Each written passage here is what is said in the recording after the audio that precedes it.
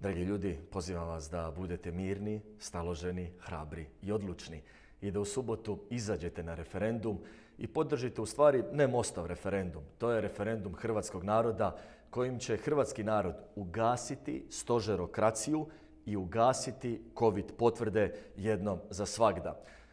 Vladajući HDZ bavi se spinovima kao što oni inače rade, njihovi politički botovi bespočima interneta šire laži i obmane i onda govore kako će ovaj referendum dovesti do obveznog cijepljenja. Naprosto to nikako ne odgovara istini.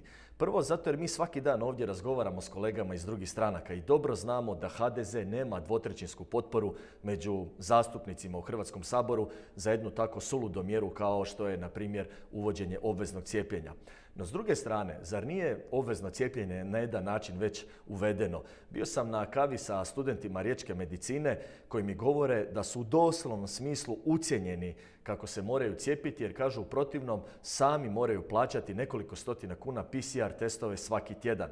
Zar nisu već ucijenjeni naši učitelji? Zar nisu ucijenjeni profesori na fakultetima? Pa vi imate toliko nelogičnih mjera, shopping centri, kockarnice, to je sve otvoreno, a s druge strane ne možete ući u poštu, ne možete doći u FINU bez COVID potvrda, ne možete napredovati u mnogim profesijama ako niste cijepljeni, i uistinu stožer je jedno parapolitičko tijelo koje donosi nelogične mjere, mjere koje ne donose dobro e, hrvatskom narodu i društvu i zato ćemo ukinuti takav stožer i ukinut ćemo dakle e, covid potvrde. Zato vas pozivam, nemojte se plašiti, nemojte se bojati, nemojte padati na nikakve fore vladajući koji u strahu od referenduma šire neke laži, neistine bespočima interneta.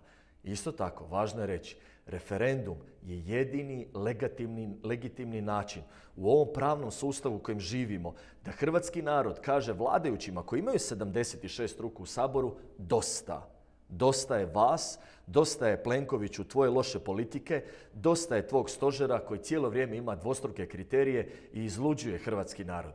I zato vas pozivam, sve vas dragi građani, i koji ste cijepljeni i koji niste cijepljeni, sve vas koji ste preboljeli COVID, sve vas. Zašto? Pa zato jer je to u stvari e, odlika hrvatskog naroda da će u krucijalnim trenucima, u važnim trenucima po naše društvo podignuti glavu, izaći na ovaj referendum i pokazati svoju hrabrost i odlučnost. Nemojte pasti na nikakve fore, kao što sam rekao vladajućih, izađi na referendum i neka vladajući čuju što hrvatski narod misli o katastrofalnim i lošim politikama Plenkovića i njegovog stožera.